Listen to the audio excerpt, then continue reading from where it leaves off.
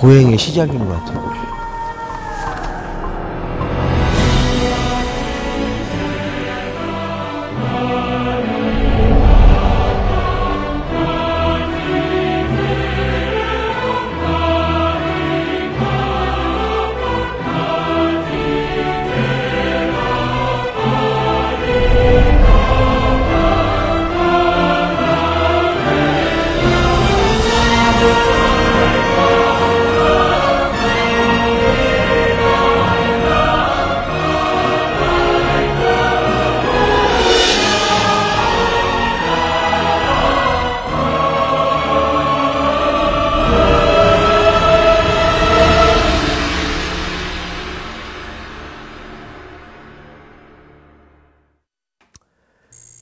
네, 아, 이번 여덟 번째 도전을 하러 또 이렇게 왔습니다.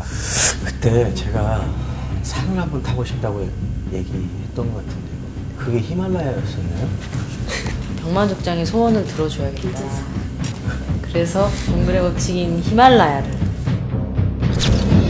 히말라야 산맥 길이 2,400km 최고 높이 8,848m 지구의 지구 그리고 눈과 하늘에 거쳐 에베레스트, 안나푸르나, K2와 로체가 우뚝 솟아있고 천년의 역사를 지닌 차마고도 역시 히말라야 산맥을 관통하고 있습니다. 히말라야 산맥이 품은 수많은 나라 중 병만족이 향하게 될 곳은 네팔입니다.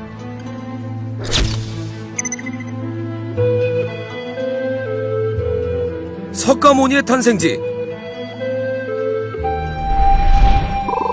그리고 에베레스트 보유국가 힌두 문화의 보고 정글의 법칙 여덟 번째 도전지는 신과 산의 나라 네팔입니다. 신비의 나라 네팔로 떠나게 될 히말라야 원정대를 소개합니다. 국민족장 김병만 정글 통반장 노우진 영원한 연선왕 박정철 그리고 역시 안정환 씨 역시 실망시키지 않았습니다. 일을 할 줄 알더라고요.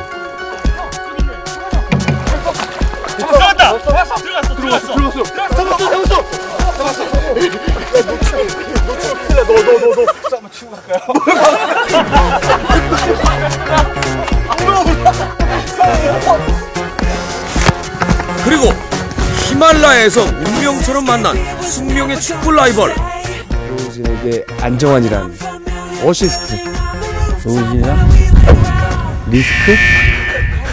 내가 너 때문에 축구한 걸 후회한다. 대망실 좋아.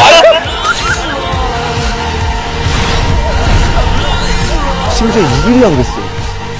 좀 이렇게 달아오르더라고요. 아, 이건 이겨야 되겠구나.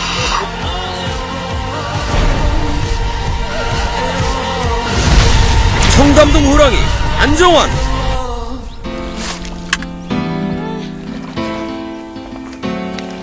여자는 잘 안 굴잖아요.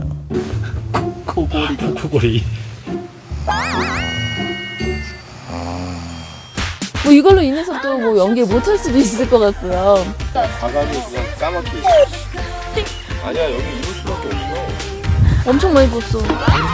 아 이게 원래 내 얼굴인 줄 아는 거 아니야? 청순한 엉뚱녀 오지은